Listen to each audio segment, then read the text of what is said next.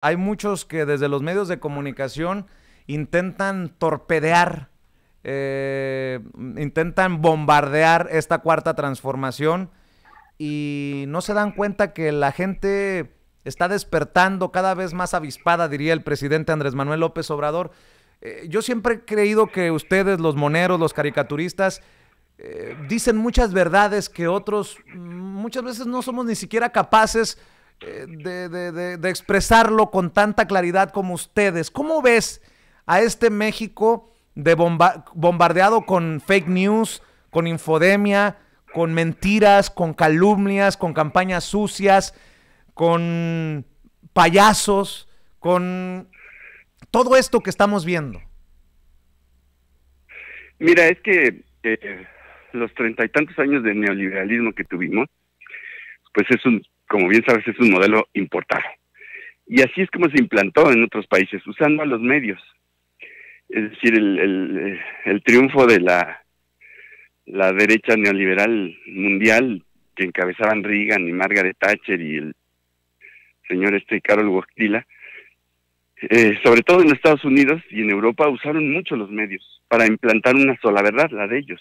El, el, ejemplo claro de esto es este, Estados Unidos, ¿no? Todos los medios ahí son propiedad de, corporaciones empresariales, transnacionales muchas. Eh, y usaron los medios para sembrar en la mente de los ciudadanos gringos una lógica. A, pesar, una lógica que a lo largo de los años demostró que, iba en contra de la realidad, ¿no? Porque incluso en Estados Unidos la población se empobreció. O sea, en Estados Unidos pasó lo mismo que aquí, la riqueza se concentró y la pobreza en Estados Unidos es espectacular, ¿eh? Entonces, lo que hicieron fue usar los medios y pues el, modelito pues lo importaron con todo y eso, y aquí eh, se han dedicado a usar los medios. Por eso te decía yo que esas voces, como la de Sarmiento y Krause y este, Aguilar Camín y, varios otros, eran las únicas voces. A los medios no tenía acceso a nadie más ellos. Entonces, si tú habías, abrías un periódico, había un artículo de uno de, no de uno, sino de varios de esos cuatro.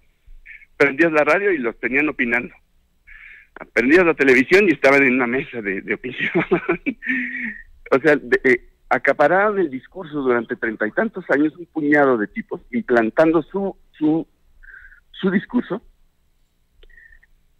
y ahora son los que se quejan de que no hay libertad de expresión. Porque además nadie ha cortado la libertad de expresión de esta gente. Hmm. Eh, siguen teniendo sus programas, sus columnas, sus espacios de, opinión, etcétera. Y entonces pues, dicen que ahora no hay libertad de expresión y les escandaliza que ahora haya otros medios y otras voces, como tú, como yo y como otros, que podemos ya hablar y expresar nuestro punto de vista y además les molesta que el presidente les conteste y los ponga en su lugar. Entonces dicen que eso es falta de libertad de expresión y que eso es una dictadura. Dictadura es en la que ellos vivieron y nos tuvieron sometidos 36 años. La dictadura perfecta, ¿no? La dictadura perfecta. Pues, Oye. No, pues fue una dictadura que duró mucho. Una dictadura mediática, por supuesto, pero también económica y social. Una dictadura donde se redujo a la pobreza a mínimo 70% de la población mexicana y el dinero se concentró en el 1%, en 300 familias. Y entonces esa gente que se quedó en la pobreza es la que pues, les brincó y votó el, el en 2018 por un presidente distinto. Eso es lo que no esperaban porque no lo veían. Y siguen sin verlo. Eso es lo más increíble.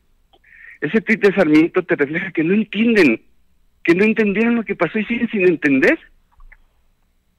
Déjame. Que esa gente a la que marginaron, a la que empobrecieron, fue la que salió a votar por un cambio de régimen y siguen sin entenderlo.